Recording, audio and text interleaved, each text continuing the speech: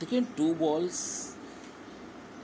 at same temperature collide what is conserve तो जब same temperature होगा तो क्या चीज़ कंजर्व होगी? Momentum which phenomena explain by Huygens wave theory तो भाई डायफ्रेक्शन हो इंटरफेरेंस हो पोलराइजेशन हो, सभी हो जाता है। बस फ़ोटो इलेक्ट्रिक इफ़ेक्ट नहीं होता। फिर how does the diffraction band of blue light look in comparison with red light देखो रेड लाइट जो होती है ना वेवलेंथ ज़्यादा होगी तो हमेशा डायफ्रैक्शन पैटर्न भी वाइडर होगा। As compare to it blue light का डायफ्रैक्शन पैटर्न क्या हो जाएगा? नैरोवर हो जाएगा। Dimension of electric flux dimension बहुत डिटेल में कराई थी।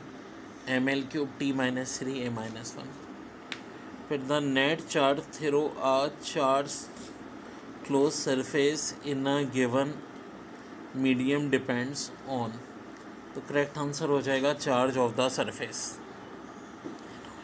angular momentum is dash vector तो आंसर हो जाएगा एक्सियल वेक्टर फिर what happens to gravitational potential at the centre of uniform spherical shapes which shrinks gradually तो करेक्ट आंसर इसका हो जाएगा बच्चों डिक्री